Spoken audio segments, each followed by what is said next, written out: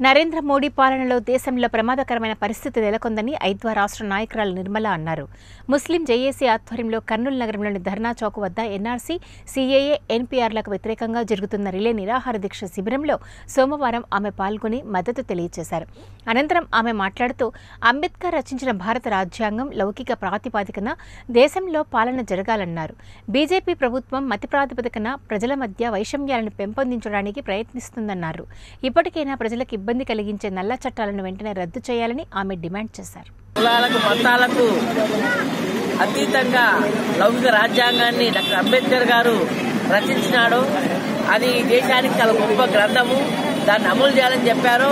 కానీ కేంద్రంలో వచ్చిన బీజేపీ ప్రభుత్వం మోడీ ప్రభుత్వం మాత్రము అవన్నీ కూడా తుంగలోకి వచ్చి కేవలం మత ప్రాతిపదికన ఇది సిద్ధించడని విషయము.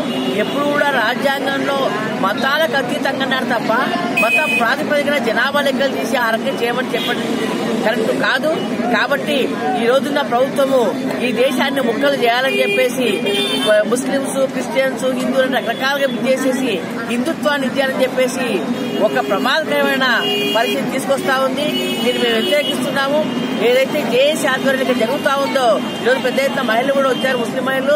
షాహిన్ బాగ్ ఢిల్లీలో షాహీన్ బాగ్లో కూడా పెద్ద ఎత్తున మహిళలే రోజు ఎంత చలి ఉన్నా ఎలాంటి పరిస్థితి ఉన్నా వాళ్ళు పోరాడుతా ఉన్నారు.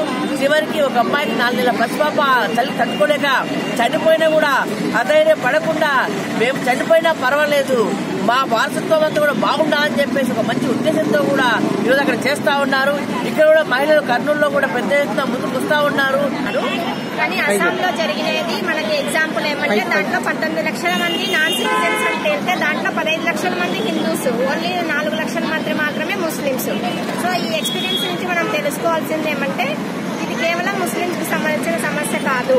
భారతదేశం మొత్తం మీద ఎన్ఆర్సీ కానీ ఎన్టీఆర్ కానీ చేసినప్పుడు సర్టిఫికెట్లు చూపించలేక ఎక్కువ మంది నష్టపోయేది పేదవాళ్ళు దళితులు మహిళలు చదువురాని వాళ్ళే. మెజారిటీ వాళ్ళు చదువురాని వాళ్ళు ఉన్నారు భారతదేశంలో. అలాంటప్పుడు వాళ్ళు సర్టిఫికెట్లు చూపించే పరిస్థితి లేదు.